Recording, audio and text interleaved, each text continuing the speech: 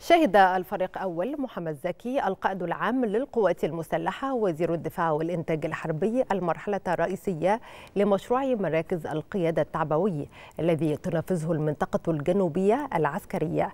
كذلك على مدار عدة أيام في إطار خطة التدريبات لتشكيلات وحدات القوات المسلحة.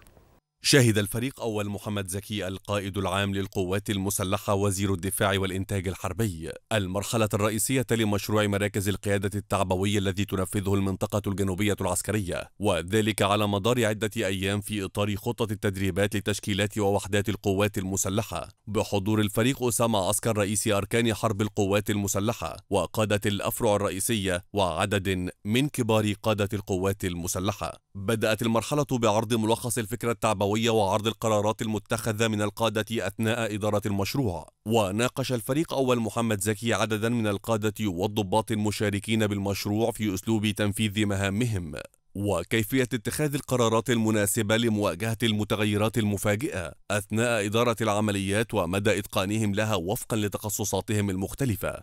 وفي سياق متصل التقى الفريق أول محمد زكي القائد العام للقوات المسلحة وزير الدفاع والإنتاج الحربي عددا من مقاتلي المنطقة الجنوبية العسكرية حيث نقل لهم تحيات وتقدير السيد الرئيس عبد الفتاح السيسي رئيس الجمهورية القائد الأعلى للقوات المسلحة واعتزازه بالجهد الذي يبذله رجال المنطقة الجنوبية العسكرية لحماية الاتجاه الاستراتيجي الجنوبي للدولة مؤكدا حرص القيادة العامة للقوات المسلحة على الارتقاء بمنظومة الكفاءة القتالية. العسكرية والاستعداد القتالي للوحدات والتشكيلات.